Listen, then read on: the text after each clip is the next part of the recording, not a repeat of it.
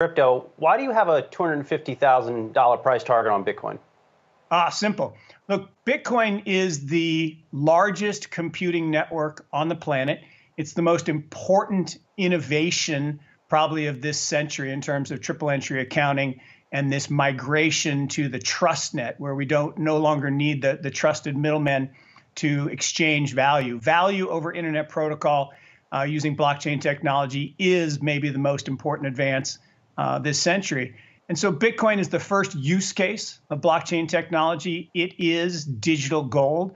So if you think about the monetary value of gold, it's about $4 trillion. Total gold is about 8 trillion. The monetary value is about 4 trillion. If we get to that level of equivalence, which I think we will, see, gold is a perfectly good asset. It's been money for 5,000 years. It is a perfect money. It doesn't have a liability associated with it unlike fiat currencies, which all have government liabilities associated with it.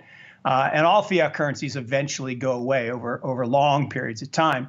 Gold has been money for 5,000 years, but it's not very divisible. It's not very portable. Bitcoin solves that. Is it, a, it is a digitally scarce asset and will play that role, I think, going forward. So Bitcoin gold equivalence at 4 trillion makes it a $250,000 asset. I think over many, many years, it'll be multiples of that. But we won't talk about the price of Bitcoin in the future. We'll talk about Satoshis.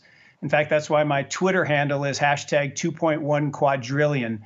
There are 2.1 quadrillion Satoshis, 100 billion Satoshis per Bitcoin. And that will be the unit of measure we talk about uh, when crypto is the predominant means of, of exchanging value.